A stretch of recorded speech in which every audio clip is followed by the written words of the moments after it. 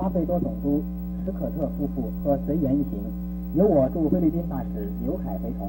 今天上午抵达高雄加工出口区参观，受到了处长吴梅村的热烈欢迎。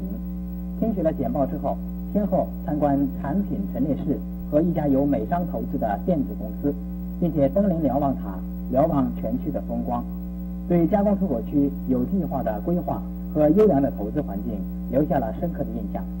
斯科特总督等一行接着还参观了南部其他的经济设施。